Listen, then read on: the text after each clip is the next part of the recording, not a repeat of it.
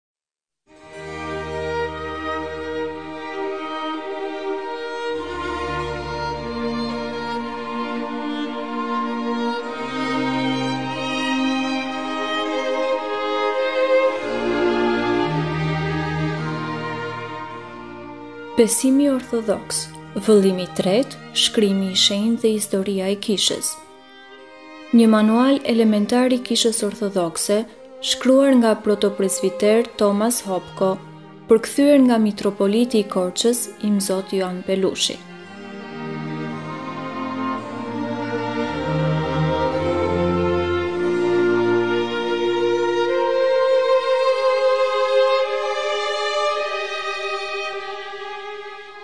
Vitet 1950-1979, pjesa e parë.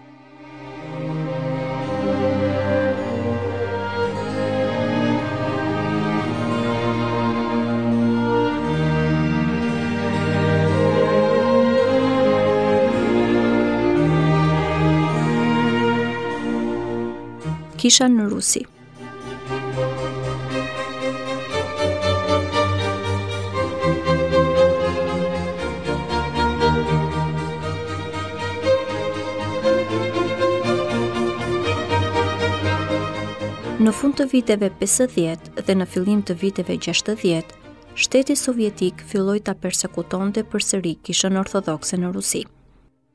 Nuk pati pastrime të dhunshme si në epokën staliniane, por persekutimet e reja erdhën në formën e masave administrative, me baza të supozuara ligjore. Pati mbyllje të shkollave dhe kishave. Nga 22.000 kisha të hapura në 1960, në 7.000 në 1964. Kishte gjithashtu taksa të rënda dhe regjistrim të shtrënguar të klerikëve. Dënime të ashpra u dhanë kundër kishtarëve për krime të lehta ose jo ekzistuese. Në 1961, dekretet e reja qeveritare kufizuan shumë pushtetin e priftërinve të enorive, duke i dhënë të gjithë autoritetin ligjor dhe administrativ të kishës, këshillave laikë. njëzet anëtarëve të kërkuar nga ligji sovjetik për formimin e një korporate lokale, me të drejta për të përdorur ndërtesën e kishës për adhurim. Priftërinjtë u reduktuan thjesht si funksionarë liturgjikë të zhveshur nga përfshirja zyrtare në jetën e kishave të tyre. Këto masa administrative ishin një përpjekje për të shkatërruar besimin fetar, i cili sipas doktrinës marksiste, duhet të kishte patur prej kohe një vdekje natyrale në Bashkimin Sovjetik. Propaganda ateiste zyrtare e periudhës pati një shqetësim të madh për praninë e vazhdueshme të fesë në vend. Meqenëse anëtarët udhëheqës të hierarkisë të kishës ruse heshtën dhe ishin pasivë përballë persekutimit të ri të kishës nga shteti, u ngritën zëra proteste nga anëtarët e kishës. Thirrjet më të fuqishme për veprim të drejtë dhe të duhur që ka të bëjë me kishën erdhën nga kryepeshkopi Jermogen i Kalugës dhe nga priftërinjtë Nikolaj Eshliman dhe Gleb Jakunin. Këta folës të hapur në emër të të drejtave të kishës ruse, bazuar në ligjet sovjetike si edhe në statutet e kishës ortodokse ruse, të shpallura në sinodet e saj në 1945, dërguan letra të hapura kritike si ndaj zyrtarëve kishtarë, ashtu edhe ndaj atyre shtetërorë në dhjetor të vitit 1965. Ata së bashku me një numër kolegësh më pak të njohur, u zhveshën nga pozicionet e tyre kishtare. Akoma edhe sot në kishën ruse, vazhdon shqetësimi ndërmjet klerikëve dhe laikëve për reforma, për udhëheqje të fortë dhe trajtim të drejtë. Përveç kishtarëve edhe njerëz nga fushat akademike dhe letrare, bënë thirrje në emër të besimit dhe të lirisë në Rusi. Në këtë numër përfshihen Boris Pasternak dhe Aleksandr Solzhenicin, të dy fitues të çmimit Nobel, shkrimtarë dhe besimtarë të krishterë.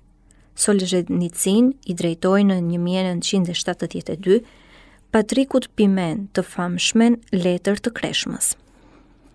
Kjo letër ishte jashtëzakonisht kritike për politikën dhe veprimet e kishës ruse përballë kontrollit shtetëror.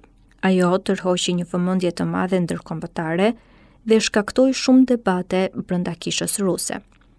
por nuk pati ndonjë përgjigje zyrtare nga Patriarkana e Moskës. Me vdekjen e Patrikut Aleksej në 1970, kryepeshkop Pimen Izvekov u zgjodh si primat i kishës ruse në sinodin e saj në 1971. I njëjti sinod konfirmoi zyrtarisht dekretet administrative të 1961, kaq të kundërshtuara nga priftërinjtë e enorive. Patriku Pimen, i cili i ka bërë vizita patriarkanave të tjera qysh prej zgjedhjes së tij, ka qenë i heshtur ndaj kritikave të drejtuara udhëheqjes kishtare në Rusi dhe ka vazhduar politikën e bashkëpunimit me autoritetet sovjetike të Sergjit dhe të Alekseit para tij. Ndërmjet akteve të fundit të Patrikut Aleksej në 1970, ishte deklarimi zyrtar nga Patriarkana e Moskës i autonomisë së kishës ortodokse në Japoni. Peshkop Vladimir Nagoski, i lindur amerikan, primati i kishës japoneze, që ishte i lidhur me mitropolinë amerikane qysh prej luftës së dytë botërore, u bë mitropolit i Tokios, kur kisha u bë kryesisht vetëqeverisëse. Patriarkana e Moskës rezervoi të drejtën për të miratuar zgjedhjen e primatit japonez dhe të merrte pjesë në shugurimin e tij. Në të gjitha drejtimet e tjera, kisha e Japonisë është krejtësisht e pavarur. Në kohën e autonomisë japoneze, themeluesi i kishës në Japoni, kryepeshkop Nikolaj Kasatkin, u kanonizua shenjt nga kisha ruse. Në vitin 1972, mitropoliti Vladimir u kthye në Shtetet e Bashkuara kur mitropoliti vendas Theodos Nagashima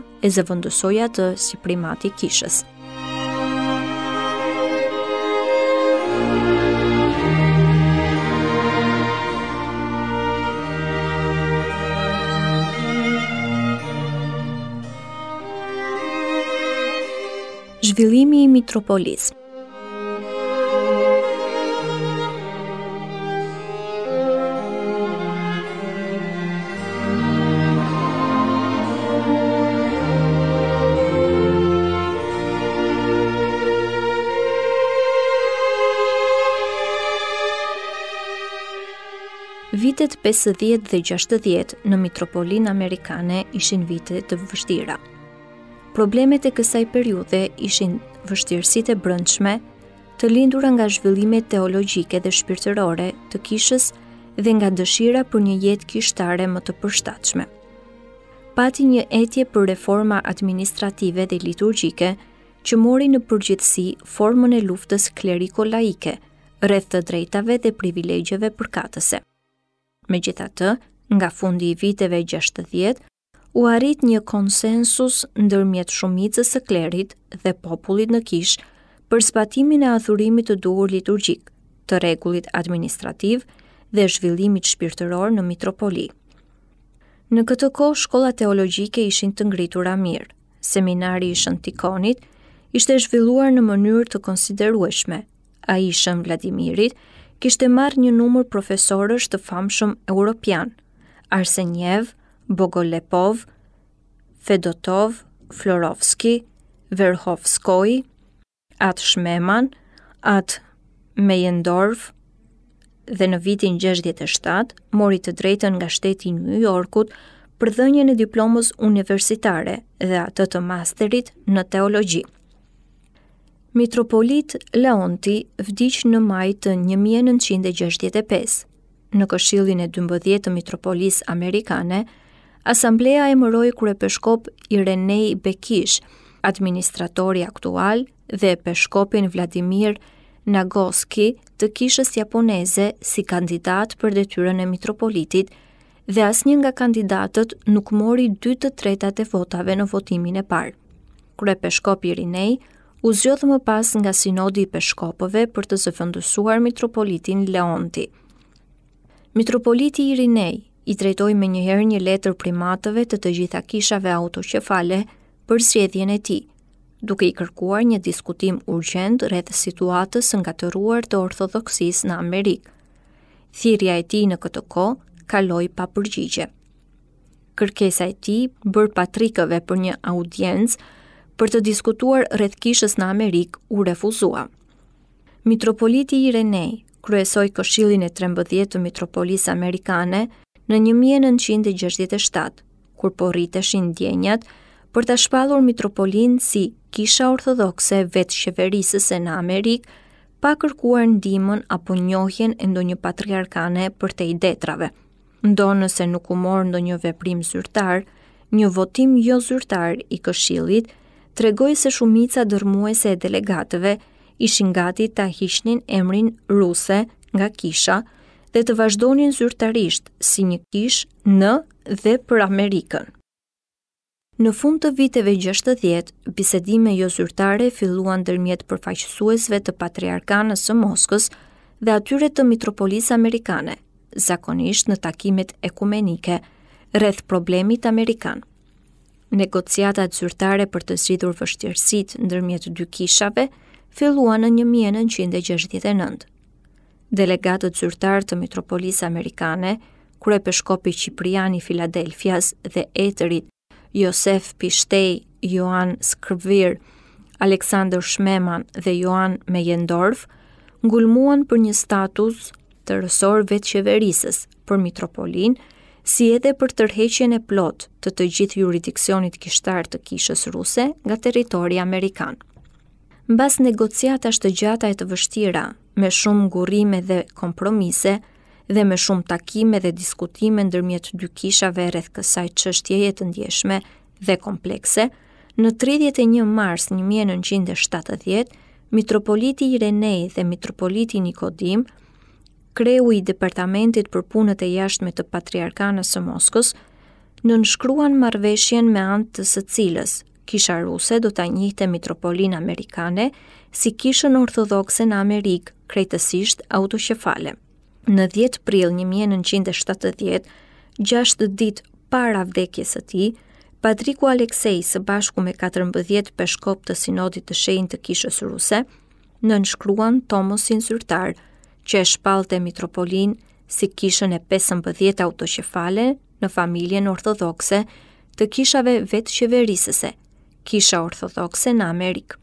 Në këshillin e 14 të Mitropolisë Amerikane, të mbajtur në manastirin e Shën Tikonit në 20 deri në 22 tetor 1970, Tomosi i autoqefalisë, që ishte marrë zyrtarisht në emër të kishës amerikane nga një delegacion i kryesuar nga peshkopi Theodos Lazor i Sitkas, u lexua zyrtarisht dhe ngjarja u kremtua solemnisht. Statusi i ri i kishës u pranua dhe u afirmua nga anëtarët e këshillit me një votim 301 me 7 me dy abstenime. Këshilli u bë kështu këshilli i parë i përgjithshëm i kishës ortodokse autoqefale në Amerikë. Këshilli i dytë i kishës, i mbajtur në Shën Tikon, adoptoi statusin zyrtar të kishës së re dhe pranoi zyrtarisht dioqezën shqiptare të kryesuar nga peshkop Stefan Laska në kishën ortodokse në Amerikë.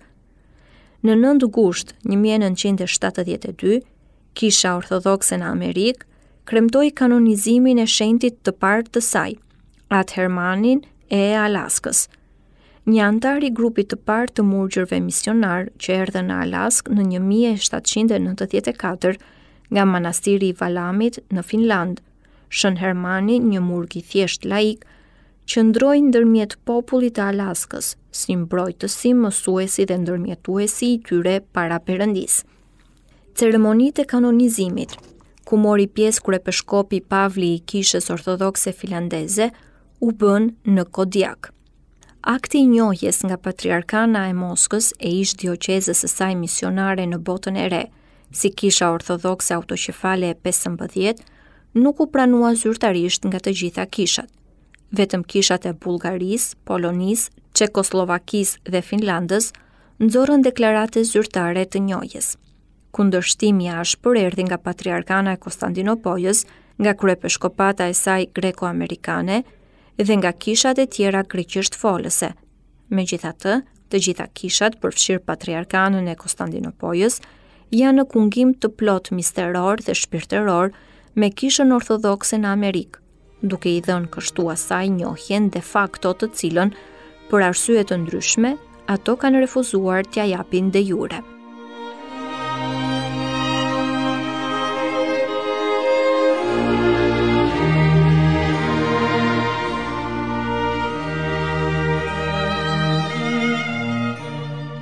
Dëgjuat, besimi orthodoks, vëllimi i tretë, Shkrimi i Shenjtë dhe Historia e Kishës. Një manual elementar i Kishës Ortodokse shkruar nga protopresviter Thomas Hopko dhe përkthyer nga mitropoliti i Korçës, Imzot Joan Pelushi.